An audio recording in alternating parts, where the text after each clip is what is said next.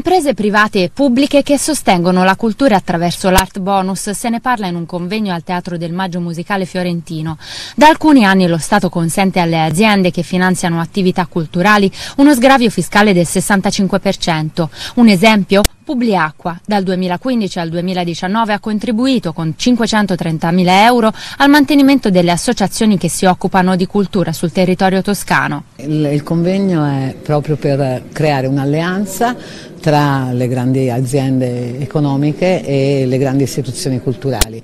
È la prima volta che ci riuniamo, grazie a Cispel abbiamo iniziato questo percorso e riteniamo che possa essere un percorso molto virtuoso per eh, parte dalla Toscana e poi si estenderà a livello nazionale. Ecco, Dal punto di vista economico è fondamentale eh, riuscire a, a, ottenere sostegno da quelle che sono realtà economiche importanti eh, del nostro Paese. Dall'altro per l'accreditamento, perché ogni grande evento culturale, ogni grande istituzione culturale ha bisogno anche di un riconoscimento e questo è, è un mezzo mh, mm, molto forte.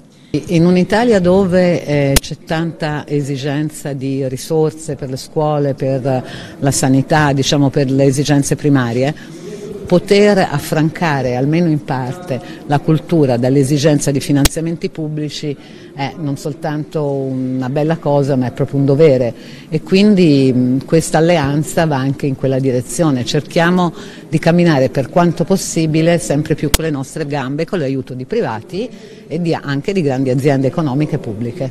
Il nostro mondo si trova da una parte con aziende importanti, strutturate, industriali che erogano servizi fondamentali per i cittadini, dall'acqua ai rifiuti, ai trasporti, al gas, pronti a, sostenere la cultura. Dall'altra parte abbiamo molte aziende iscritte eh, con noi che eh, sono i fruitori o possono essere i fruitori di questi contributi.